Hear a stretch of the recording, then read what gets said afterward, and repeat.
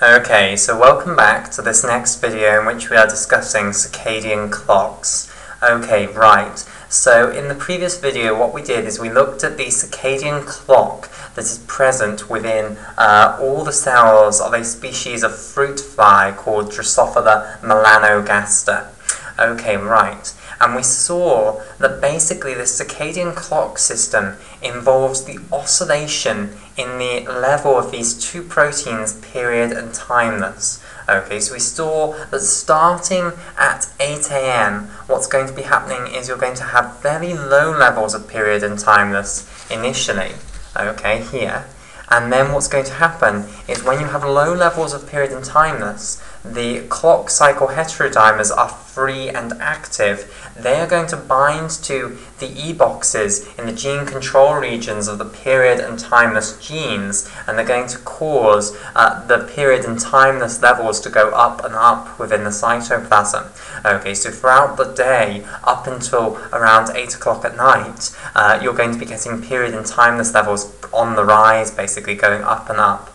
Now, Period and timeless uh, proteins can heterodimerize into period timeless heterodimers, which can then translocate into the nucleus. However, this is a really uh, delayed process, okay? It takes a long time. There's a lot of faffing about, basically, okay? And it seems that in order for the period and timeless proteins to heterodimerize, and in order for the heterodimer to then enter the nucleus, there are a whole host of post-translational modifications which need to occur, okay? And we've listed some of the important enzymes that might be involved in those uh, here. Okay, then at uh, 8 o'clock in the evening, the period timeless heterodimers do finally make their way into the nucleus. Okay, uh, and once they've finally got into the nucleus, what will then happen is they'll bind to the clock cycle heterodimers and inhibit those clock cycle heterodimers, hence stopping the clock cycle heterodimers from activating uh, the E-boxes upstream of many, many genes, and including the genes for period and time timeless themselves. So now period and timeless production is going to stop during the night and then degradation will now dominate because you're not producing anything but you are still destroying the period and timeless proteins. So now period and timeless levels uh, within the cytoplasm of the cell are going to start to fall down uh, from 8 o'clock onwards. Okay which is this downstroke of the graph here. Okay and then uh, we've discussed that there is this, again, a big delay in actually translating a reduction in the period and timeless levels in the cytoplasm to a reduction in the period timeless heterodimers in the nucleus. So period and timeless go down in the cytoplasm, but then it takes much longer for period and timeless heterodimers to then actually leave the nucleus. But by 8 am in the morning, period timeless heterodimers have left the nucleus, okay, and therefore the clock cycle heterodimers are on their own again, okay, and are now uh, free to have another cycle go again, basically.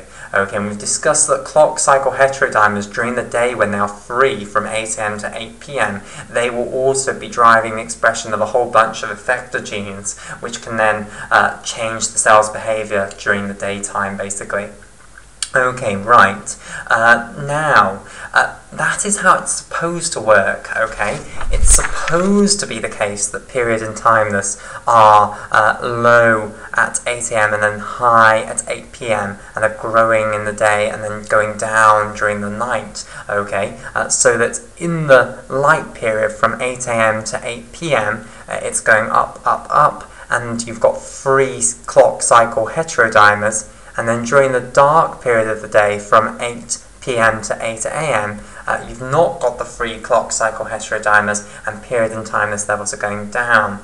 However, there's nothing to stop this system of period and uh, timeless proteins going out of synchrony with the light-dark cycle. Okay, there's nothing to say that it has to be beautifully in synchrony like that with uh, the actual time of the light-dark cycle. Okay, so we've seen that there is this way for recalibrating this uh, period timeless system. okay, uh, if it becomes out of synchrony with the light-dark cycle, and that's through these cryptochrome proteins. And we've discussed that when you have bright light, that will be activating cryptochrome proteins, which will be accelerating the degradation of period and timeless proteins. Okay, so we've discussed that if the circadian clock uh, thinks that it is early evening, okay, so if it's at this sort of portion of the uh, uh, circadian clock within the cell, and then you suddenly get very bright light, which would indicate that actually the real time is more around 12 o'clock in the day, maybe.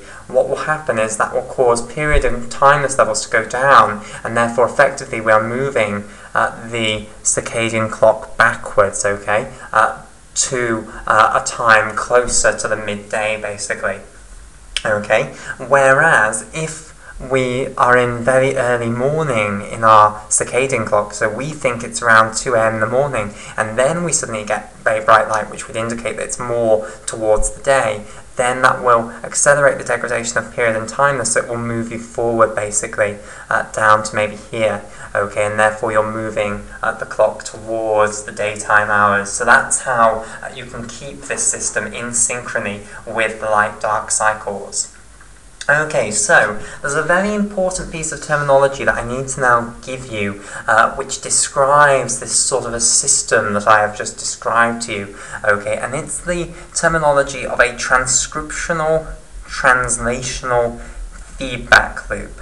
Okay, so this um, circadian clock that we have just seen in Drosophila melanogaster is an example of a transcriptional translational feedback loop. And uh, the mammalian clock system that we're about to see is also going to be an example of a transcriptional translational feedback loop. Okay, and for short, transcriptional translational feedback loops are abbreviated down to TTFLs. Okay, right.